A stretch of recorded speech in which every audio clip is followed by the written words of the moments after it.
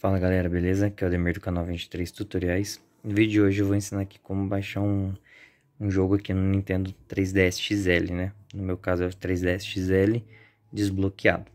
Então vamos lá. Primeira coisa que a gente tem que fazer é vir aqui nesse, nessa sacolinha verde. Dar um clique nela e abrir, né?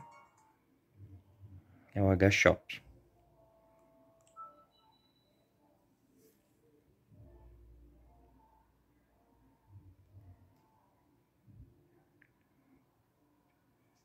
Beleza. Aqui na parte de cima vai mostrar games, updates, DLC. No caso a gente quer jogos, né? Então vamos, vamos clicar aqui com o botão A, né? Aqui do lado, botão A. Aqui a gente vai escolher... Vamos escolher aqui a América, né? América do Norte, aqui em cima, tá vendo?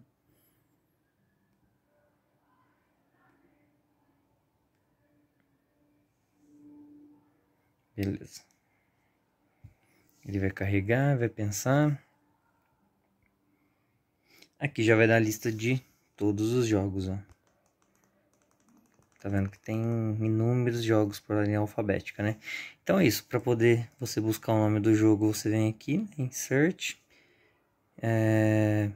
Aqui ele vai buscar por regiões, mas tem como buscar por nome também. Você vem aqui em texto, ó. Só escrever o nome do jogo que você quer e escolher ali e baixar, né? Escolher o idioma, né? Então, vídeo de hoje é esse. Espero ter ajudado. Qualquer dúvida aí, deixa nos comentários. Tamo junto, valeu e fui.